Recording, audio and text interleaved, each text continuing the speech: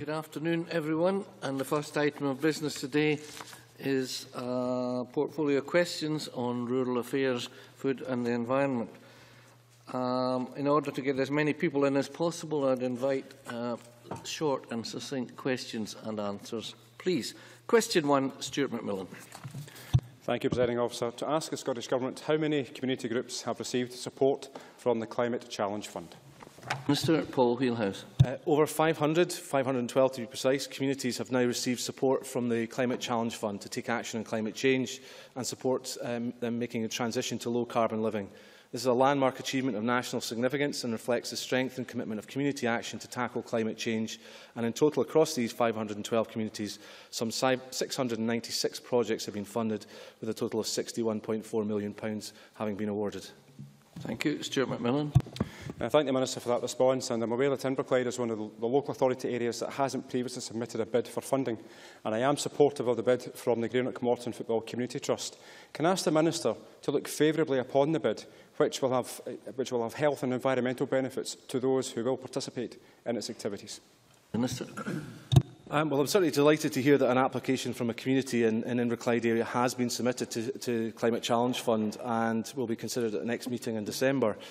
Uh, as uh, the member will be aware, Inverclyde is the only local authority area in Scotland that currently uh, is not home to a community uh, which has taken advantage of Climate Challenge Fund. So I'm certainly pleased to hear that the work that's been done locally to try and stimulate interest has paid off. Uh, I understand this particular application has been generated by the Ideas Bank, which is an important new innovation in the fund, and I'm encouraged to see that this mechanism, which is aimed at spreading good practice and making it easy for communities with limited capacity or whose primary focus is not climate change uh, to access fund is working. All CCF funding decisions, I should say to the member, are made by an independent panel who make recommendations to me. It would therefore be inappropriate for me to, uh, to comment on a particular application in Chamber, but I do know that a number of other similar projects based around sports clubs have been supported in the past. Clearly, the decision to fund this particular project will depend on the quality of the application, funds available and, and the other projects they are up against. But I'd like to wish this and indeed other communities who have applied to the Climate Challenge Fund in the next 20th round the best of luck. Thanks. Question two, Maureen Watt. Thank you, Presiding Officer. To ask the Scottish Government what discussions it's had with the livestock haulage industry regarding maximum driving hours and staffing challenges for livestock transporters. Thank you. Cabinet Secretary Richard Lochhead. I am aware of the concerns that the livestock industry has raised on this issue and of course would be happy to facilitate discussions to help resolve any problems. Of course, responsibility for some of the issues are reserved to the UK Government, and I know that the industry has been making representations directly to UK ministers. Nevertheless, the Scottish Government does stand ready to work with the industry to help in any way we potentially can. Thanks. Maureen Watt. I thank the Cabinet Secretary for that answer. I wonder then if he has had discussions uh, with his Westminster colleagues on this particular issue. And can he also have a discussion with the Transport Minister and the Cabinet Secretary on training youth and women's employment on the need to bring young people into the industry through apprenticeships, given that the average age of livestock drivers is now over 55? Cabinet Secretary. Um, I'm happy to commit to doing both of the things requested by Maureen Watts and, of course, I very much appreciate, as I'm sure member, many members do, the importance of the livestock sector to uh, the, the haulier sector to the livestock sector generally, otherwise simply would not be able to move livestock around the country into market. So we need the livestock haulage sector to, to prosper, and I'll certainly look further into the issues raised by Maureen and want to take them forward. Thanks very much. Uh, question three, Dave Thompson. Uh, to ask the Scottish Government when the details of future Common Agricultural Policy payments to farmers and crofters will be known. Cabinet Secretary Richard Lockhead. I did, of course, announce to Parliament on the 11th of June the key decisions on how we will implement the new Common Agricultural Policy from 2015, and in particular for Pillar 1, that's the direct payments to farmers and crofters, which is set to deliver £2.8 billion of payments to them between 2015 and 2020. We are continuing to provide farmers and crofters with a huge amount of information about the new CAP, through, firstly, the extensive programme of 34 roadshows, which are being very well attended, currently being held right across the country, the CAP booklet we've sent to all customers and the farmers and crofters, which is also available in local area offices. And of course, we continue to update the Scottish Government's website. Thank you. Dave Thompson. I thank the Cabinet Secretary for his answer. Uh, I was disappointed that the UK Secretary of State Liz Truss didn't uh, let him join her at her meeting with the new Agricultural Commissioner on Monday. But on the CAP payments, uh, I wonder if the Minister is in a position to identify or quantify which areas will be affected by the Area 3 rough grazing payments. That's it. Uh, yeah, yes, I share the member's disappointment that I was locked out of the Secretary of State Liz Truss's meeting on Monday in Brussels with the new Agricultural Commissioner, which I did request to attend, but that request uh, was declined. Uh, in terms of the, the member's issue in over rough grazing in relation to the impact on crofters, uh, can I just say that we have written to the crofters to let them have the provisional allocation of the three new cap payment regions based on their 2014 permanent land declarations as part of the, the single application form. So individual crofters will be able to work out what this means for them. Clearly, until we have that worked out and then we have the, the application forms completed uh, next year, we can't estimate the exact payments that any crofter or farmer, for that matter, uh, will receive.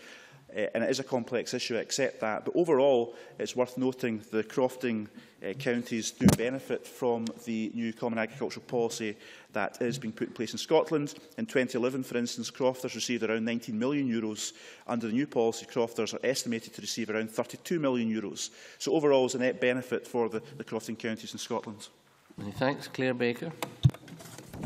Um, thank you, President Officer. Um, I appreciate the difficulty there is in delivering CAP reform, but how does the Cabinet Secretary respond to comments from NFU that the lack of clarity over the transition to the new area payment system is eroding confidence in the reform process? And also, will he be able to share soon the new transition plans after the European Commission uh, rejected the original transition plans? In terms of the lack of clarity and complexity, I would remind Claire Baker and indeed the Chamber that we worked very closely with the industry throughout the whole reform process. Some of the additional complexity, complexity which uh, perhaps has resulted in a lack of clarity at this stage in the process, it was the result of the Scottish Government meeting the requests of the industry. And we are trying to maximise the flexibilities available within the reform to take into account Scotland's unique circumstances across agriculture uh, and the various issues that are relevant to farming and crofting in this country.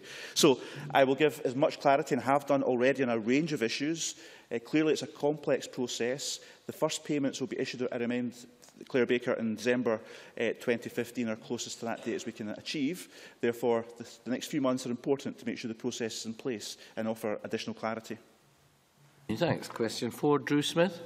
Uh, thank you, President Officer. To ask the Scottish Government what progress it is making in developing its low emissions strategy. Minister Paul Wheelhouse. Uh, we're making good progress in developing our low emission strategy. Uh, an update on progress will be made at the Scottish Transport Emissions Partnership annual conference in Edinburgh on the 18th of November and a draft of the strategy which is being developed by Scottish Government, Transport Scotland and SEPA in partnership with a range of organisations in the public and private sectors is due to be issued for consultation before the end of 2014. Drew Smith. Uh, thank you, President Officer, and I thank the Minister very much for that reply and look forward uh, to the strategy. Uh, earlier this year, Health Protection Scotland attributed uh, pollution as a cause of death in 306 cases uh, in Glasgow, the highest number in the country. And I note that the draft budget includes uh, no additional funding to tackle the issue of air quality um, improvement. What action um, can the Minister point to which can give me reassurance that this uh, is indeed a priority for the Scottish Government? Minister. Uh, well, we are working very closely with uh, Glasgow City Council, uh, to, obviously the members uh, re represents that area, to produce a comprehensive air quality action plan for Glasgow. Uh, and we have a good relationship with the Council in that respect and can provide details by correspondence that would be helpful to the member to, as to what stage we reached. Uh, but we, we know Glasgow City Council has produced a detailed feasibility study uh, and, and did so on reducing, uh, producing a low emission zone in the city for the Commonwealth Games. Unfortunately, that didn't uh, take place for, I think, reasons that the member will, will probably be aware of. But uh, the overall, um, uh, we, we are impressed with what Glasgow has been trying to do and trying to tackle air quality issues in the city, and we'll work very closely with them. We have a number of challenges, not least because uh, vehicle emission standards have not delivered the improvement in air quality in urban areas that we had, and indeed 20 other uh, administrations across Europe had, had hoped for. And so uh, it presents us all with a problem, but we are working through a strategy to try and achieve compliance with European directives as soon as we can. Thanks. Question five, Margaret McDougall. Thank you. To ask the Scottish Government what its position is on EDF's application to SEPA that would allow it to transport intermediate-level radioactive waste from other sites to be stored at Hunterston. Secretary Richard Lockwood. Um, I should point out, of course, that this application is a matter primarily for SEPA, Scotland's Environment Agency, who are giving it full consideration and, of course, will test its compatibility with Scottish Government policy. You. Margaret McDougall. I thank the Cabinet Secretary for that answer, albeit very short. Many of my constituents are worried that if this application is approved, it would lead to Hunterston being a dumping ground for radioactive waste from across Scotland and beyond. They are also concerned that this waste would be transported on mainly A-class roads, increasing the risk of accidents. Given that the Scottish Government's policy on managing nuclear waste is for it to be stored in near-surface facilities and I quote, located as near to the site where the waste is produced as possible, end quote. What assurance can the Cabinet Secretary give my constituents that Hunterston will not be used as a dumping ground? Um, I, I, I don't detract from the seriousness of the issues that are raised uh, for a second, but of course I would say that I wish we did not have this nuclear legacy to deal with in the first place. And the Members' Party, of course, has supported uh, that nuclear waste legacy being created in past decades. So unfortunately, we now have to deal with that in Scotland because that's our uh, responsibility. Saying that, of course, there has been a public consultation on the application and EDF have stated that the proposed change is purely a practical one to facilitate more flexible disposals by allowing waste to be collected temporarily at one site before being sent for disposal to an authorised facility. And of course, the application makes clear there would be no long-term storage of waste transfer to Hunterston B Power Station or indeed Torness uh, from another site. But of course, uh, I do treat these matters very seriously and the Scottish Government do have a policy. I'm limited in what I can say because clearly it's an active uh, application, but I hope that puts the issue into context in terms of us do, treating this very, very seriously. Many thanks. Question six, Claire Adamson. Thank you, Presiding Officer. To ask the Scottish Government what the value of the food industry is to the Scottish economy. Cabinet Secretary. Uh, the most recent data from 2012 estimates the food and drink sector which of course is a growing sector and which includes food and drink manufacturing, sea fishing, aquaculture and agriculture, generated £4.8 billion pounds in gross value added to the Scottish economy. And of course, turnover now is a massive £14 billion pounds overall in Scotland. Uh, there are approximately 118,000 people working in the food and drink industry in Scotland and over 17,000 businesses. So that's approximately 11% of all registered businesses operating in Scotland. Many thanks. Clare Adamson.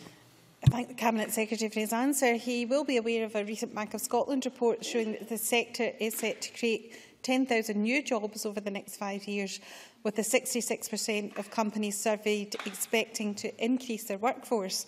Can the Cabinet Secretary highlight what support that the Government is providing in my area in central Scotland to ensure that producers are able to take advantage of the economic potential and the advantages of the quality, reputation and the providence of Scottish food and drink?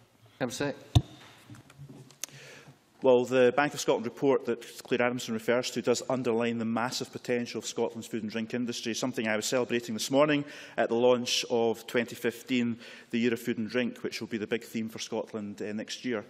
And it is incredible to meet so many businesses across Scotland, including in Clare Adamson's uh, constituency that are expanding, taking on new employees and capturing new markets.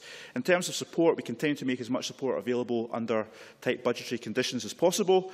And looking at North and South Lanarkshire, for our food processing and marketing grant scheme, we funded, for instance, between 2007-2013, 11 capital projects amounting to £3.5 million, attracting an overall investment of £13.3 million, and also other projects for Borders Biscuits and TM Fresh Direct, etc., um, have been successful. So uh, businesses in Clare Adamson's constituency, as well as throughout the whole of the country, are booming at the current time, and we'll continue to support them in any way we can.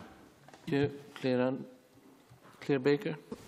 Well, thank you, President Officer. Can the Cabinet Secretary comment on the need to bring younger people into the sector and the need to create apprenticeships? When I visit many food and drink industries, such as food, food, um, sorry, fish processing, they find it quite difficult to attract young people into those businesses as it's seen as quite an old-fashioned career and not one that actually offers quite good, good career opportunities. I'm. I do recognise that's been a reasonably long-standing issue that uh, Claire Baker refers to. However, I am optimistic that things are changing and the Food and Drink Federation and other bodies such as Scotland Food and Drink are addressing these issues seriously. And I think more and more people are now being attracted into the industry, not just in terms of uh, production, but also the science aspects and the institutes that are dealing with food and drink issues uh, and innovation. So I'm optimistic that more and more young people in Scotland are now being attracted to a successful career uh, in food and drink. Okay. Alex Fergusson, question seven. Um, thank you to ask the Scottish Government how it will use the National Reserve to ensure that farmers who are disadvantaged under the previous Common Agricultural Policy are put on regional average support payments from 2015. Can I say that after extensive discussions with the industry, it is my intention that the National Reserve should cover three categories of farmer. Category one would be for new entrants and young farmers to start farming uh, in 2013 or later. Category 2 would be for farmers who were not allocated entitlements to the current single farm payment or who were only allocated these entitlements through the new entrant or investor categories of the previous National Reserve in 2005. And the final category would cover farmers who have been subject to force majeure issues. Uh, this approach will immediately address the unfair treatment faced by hundreds of farmers over the last few years, while respecting, of course, the strict conditions contained within EU regulations. It will certainly honour my commitment to give Uh, new entrants uh, and include them from day one of the new cap. And it's only possible, of course, because the Scottish Government fought for the ability to use the National Reserve in this way. Okay. Alex Ferguson. Uh, all of which is very welcome, but on the 11th of June, in the statement to which the Cabinet Secretary referred uh, to this chamber, he said and I quote, we negotiated the ability to put those disadvantaged under the old CAP straight onto the regional average through the National Reserve.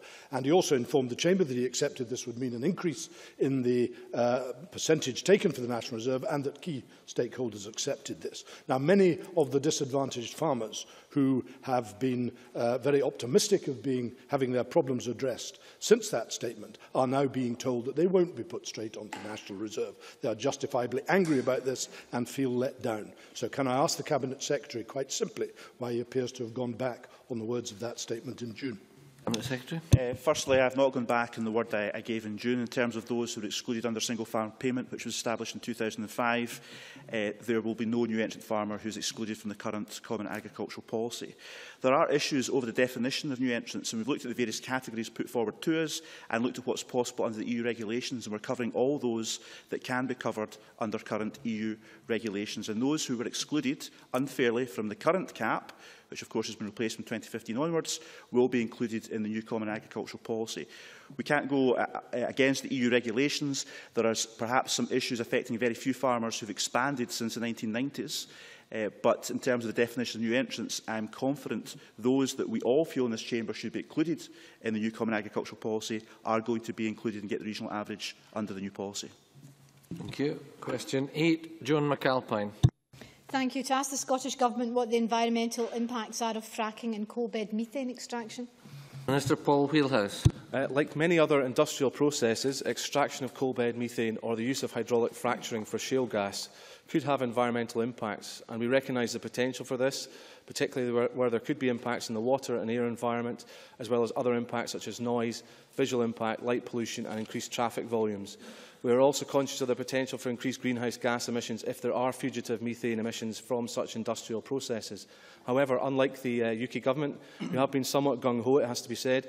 We have taken a precautionary approach. Our stringent system of planning and environmental regulation, which we have further tightened, should ensure any environmental risks are recognised and properly mitigated.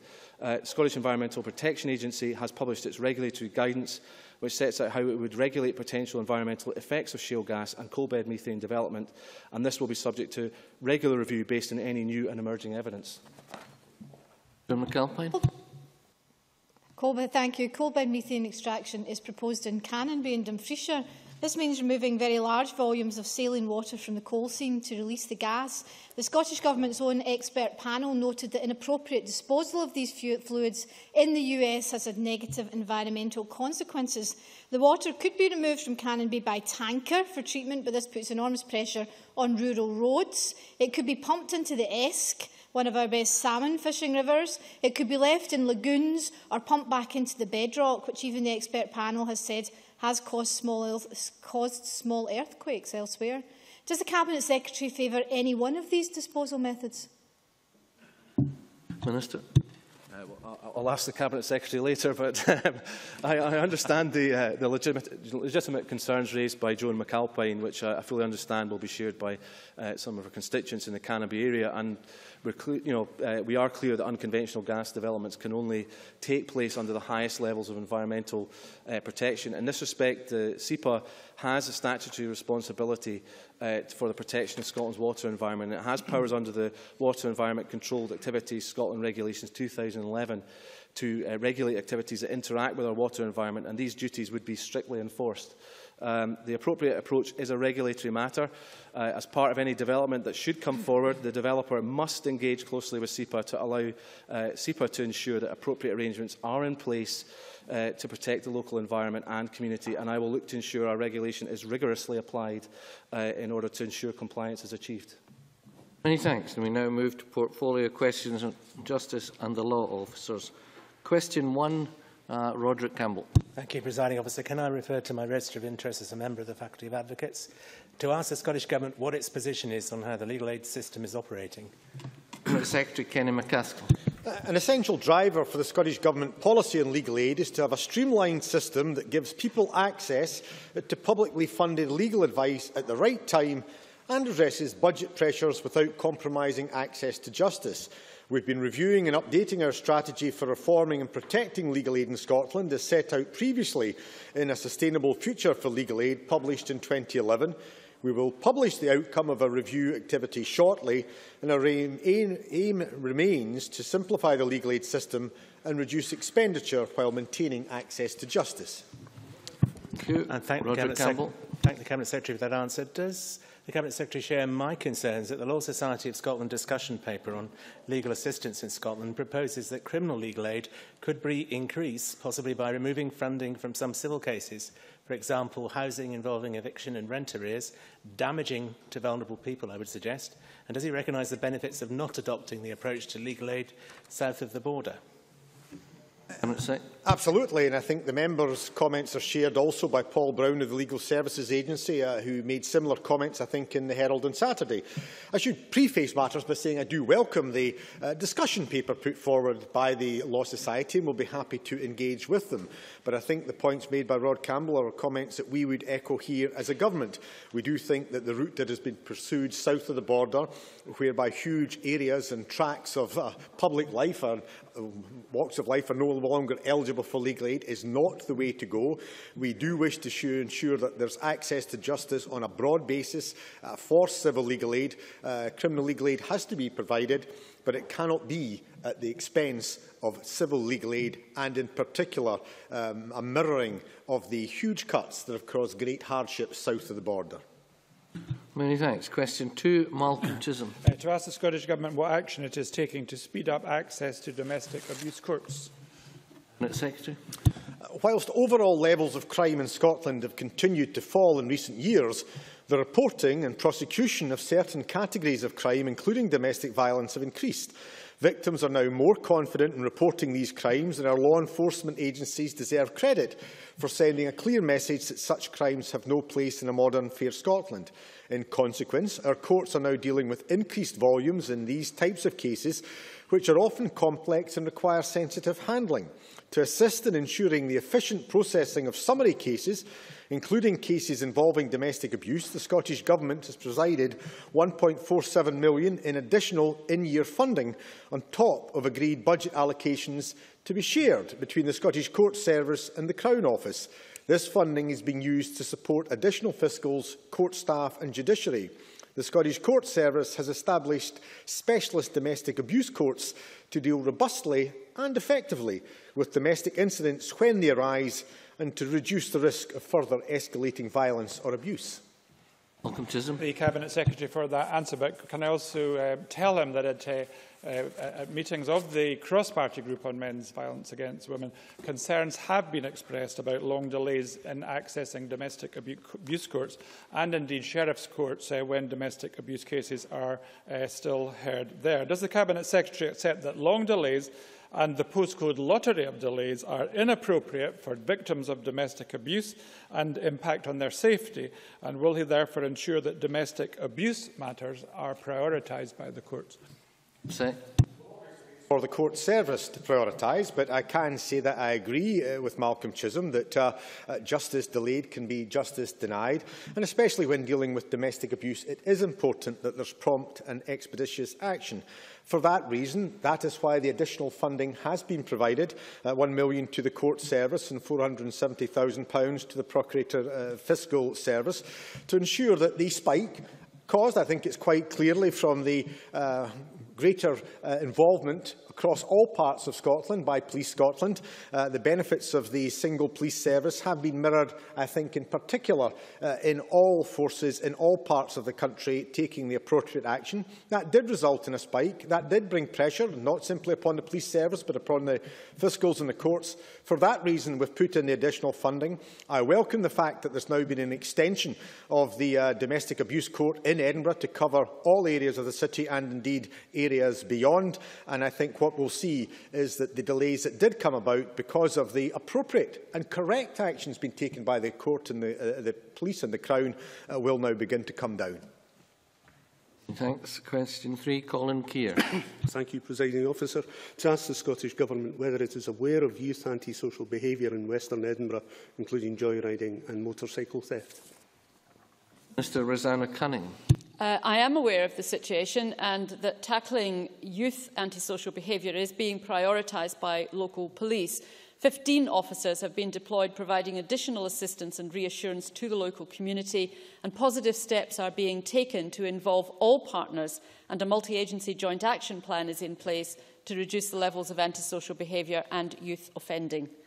Thank you thank the Minister for her, her reply. Would the Minister agree with me that the actions of Police Scotland, the City Council and local community groups working together in partnership has shown how effective local community policing can be?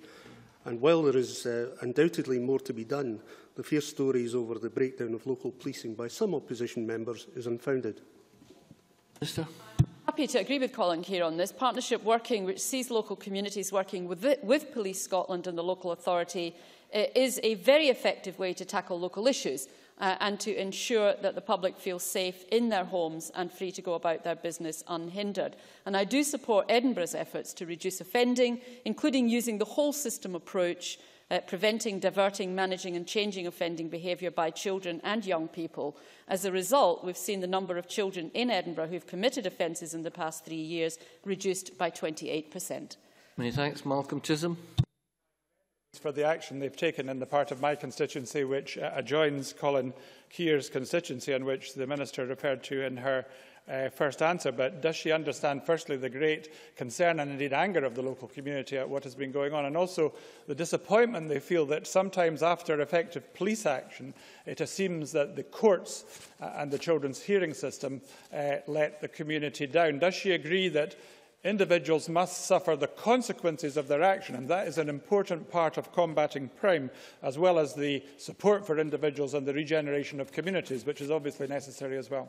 Minister? Uh, I think Malcolm Chisholm is, is reflecting probably a, a, a feeling that uh, can uh, uh, become uh, uh, widespread in communities. Um, uh, work with young people who offend uh, via the children's hearing system uh, takes place on a confidential basis, as Malcolm Chisholm knows. So the extent of intervention may not always be obvious uh, uh, to uh, uh, communities. But that doesn't mean that offending behaviour and its impact isn't being confronted and addressed. And I think it's important for us uh, to reinforce that. And we've also got in place uh, diversionary activities that are being funded through Cashback for Communities uh, which uh, um, uh, the member will be uh, widely aware of. Um, sadly, this is not a new problem, and I'm reflecting on the fact that uh, uh, this same issue was being raised uh, very many years ago when I was a local government candidate in Edinburgh. Uh, it tells you how long ago this was when I tell you that Alistair Darling won that election and became the regional councillor uh, for the area. Uh, but it is a reflection, I think, of the enduring difficulties that can arise with this kind of behaviour uh, and the uh, long-term uh, need there is to tackle it at the preventive uh, end rather than at the uh, end of the uh, committing of the behaviour. Many thanks. Question 4 in the name of Gavin Brown has not been lodged. An explanation has been provided. Question 5, Nanette Milne. Thank you. To ask the Scottish Government what action Police Scotland is taking to address the issue of puppy farms and puppies being imported illegally. Secretary. Uh, enforcement of the legislation concerning puppy breeding and import controls and drugs is primarily the responsibility of local authorities rather than the police. Uh, police Scotland, though, will assist local authorities and other enforcement bodies such as the SSPCA when requested. I thank the Cabinet Secretary for his response. Um, he'll be aware of the concerns which have been expressed regarding the growth in the sale of puppies and dogs online. Following the publication of the Scottish Government's consultation on promoting responsible dog ownership in Scotland, respondents repeatedly called for indiscriminate breeding of dogs to be tackled and argued that until it was tackled effectively, irresponsible dog ownership would continue.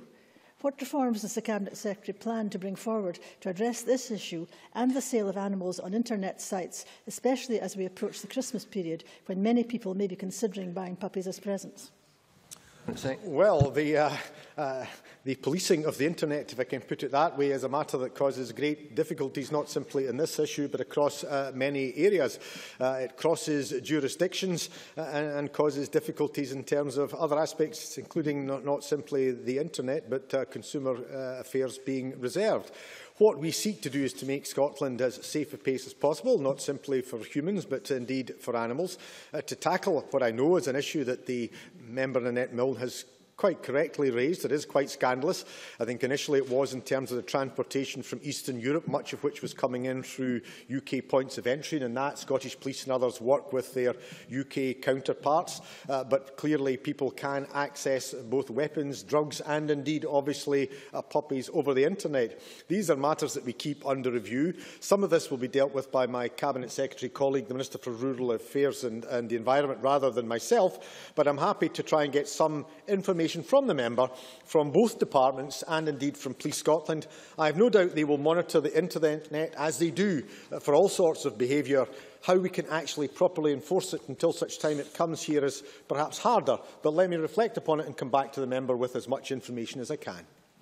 Thanks very much. Question six, Dr Elaine Murray.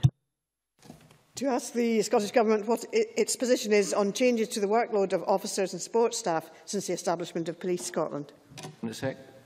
Uh, this is a matter for the Chief Constable and the Scottish Police Authority in consultation with the staff associations and unions. Uh, this Government is continuing to deliver on our commitment to put 1,000 additional police officers in communities while recorded crime is at a 39-year low. Dr Murray. Uh, on the 4th of November, Chief Superintendent Niven Rennie of ASPS told the Justice Committee that he had real and significant concerns about the workload of his members and that the number of superintendents had reduced considerably through reform.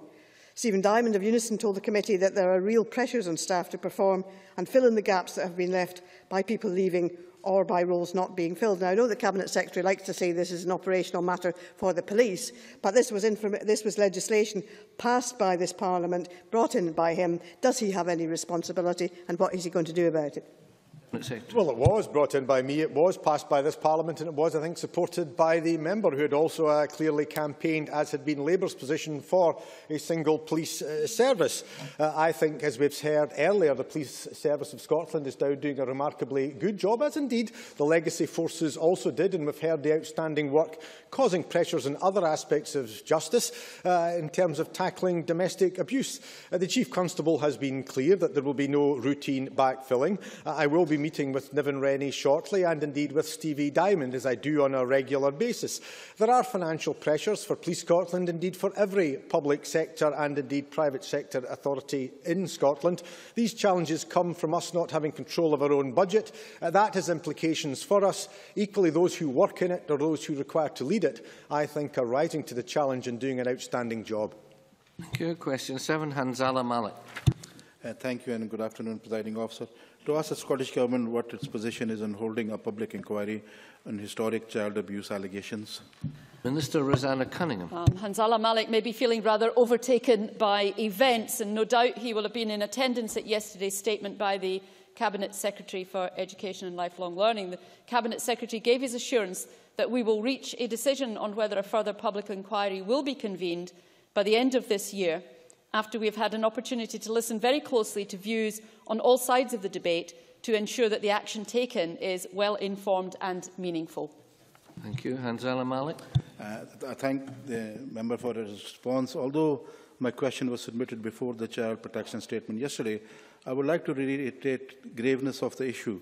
Holding a public inquiry on historic child abuse allegations would assure the public that the calls for justice made by the victims will be properly addressed rather than feeling disregarded.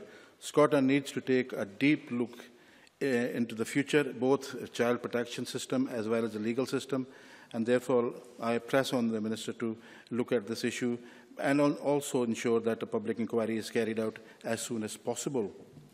Thank you, Minister. Uh, I, I think the member will agree with me that what is incredibly important, and we only need to think about what's happening uh, um, uh, at Westminster at the moment with their public inquiry, uh, I, I think he will agree with me that what is incredibly important is that we get this right from the start. And it is our intention that we will consult uh, uh, with survivors uh, about all aspects of what kind of inquiry might be required uh, and also who might be sitting uh, on that inquiry. And I think it's very important that we do that and understand very clearly whether the kind of inquiry that may be being asked for is manageable uh, in terms of uh, uh, the whole process. Uh, I have indicated uh, the commitment of this government that a decision will be made on that uh, by the end of this year. How time limited one can make that inquiry is a different question entirely. Many thanks. Question 8, Rhoda Grant. Thank you, Presiding Officer. To ask the Scottish Government what plans it has to establish domestic abuse courts across the country. Cabinet Secretary Kenny MacAskill. Uh, there are already a number of established domestic abuse courts across Scotland in Glasgow, Edinburgh, Falkirk, Dunfermline, Livingston and Ayr. Uh, Sheriff Principals are responsible for court programmes, including domestic abuse courts, and under their legislative duty, they're tasked to ensure the efficient management of cases in their sheriffdom. And while Scottish ministers have no locus of control over court programming, it is worth mentioning that the Domestic Abuse Toolkit to aid the development of specialist approaches to cases of domestic abuse, published in 2008, was prepared following initial evaluation of the dedicated court in Glasgow, and that toolkit was developed to aid sheriff principals and local criminal justice partners. Rhoda Grant. I thank the Cabinet Secretary for that response.